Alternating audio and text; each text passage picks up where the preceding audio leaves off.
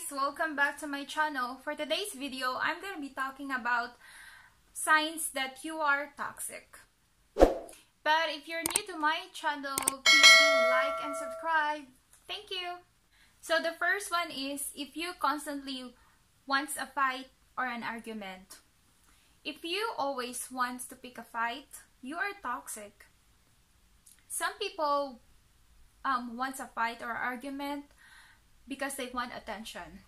Because they think that when they have a fight or an argument, they will get that person attention.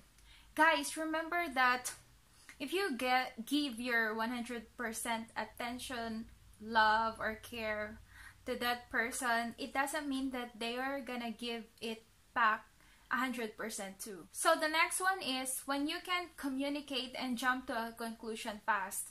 If you can communicate and always throw a fight to your boyfriend, friend or husband so you can get your so you can get what you want, you're toxic. If you are if you are acting childish about anything, you always get mad or upset easily about anything, even like simple things. Let's say if you and your boyfriend um, gets on a fight and you're always saying, um, let's just break up or blah blah blah. And then you're constantly saying saying that like let's just break or stuff like that. You're only showing him what he can do to you.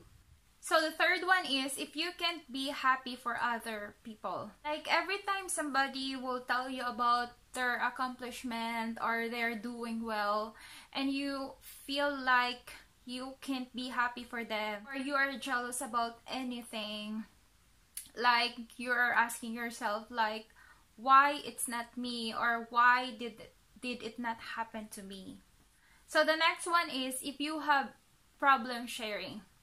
Like for instance if your best friend or close friends are hanging out with other people and you feel like um um, if she or he doesn't want me anymore, if she or he doesn't want to be friends with me anymore, or like um, your boyfriend or your husband is hanging out with your friends without you and you feel like you are ignored. Remember that they are not your property and still do other things without you sometimes. So the next one is if you are just using other people because you need them.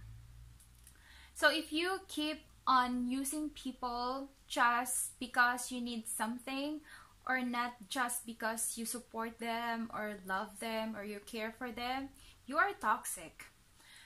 And then you came to a point that if you doesn't if you are not getting anything from them, you're just gonna leave.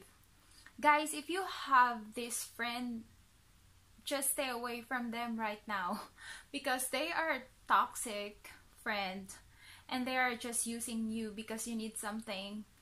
They are just a user.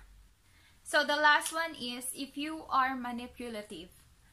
So if you are just using other people's weakness, you are toxic. For instance, you know or feel that your boyfriend really really loves you and will always do anything for you.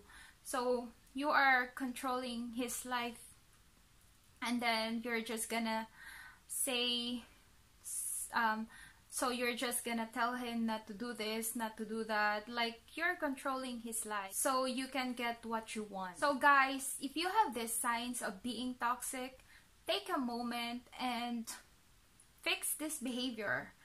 But um, it doesn't mean that if you are toxic right now you will be toxic forever. You can fix this.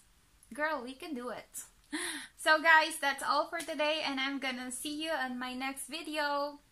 Thank you. God bless and stay safe. Bye.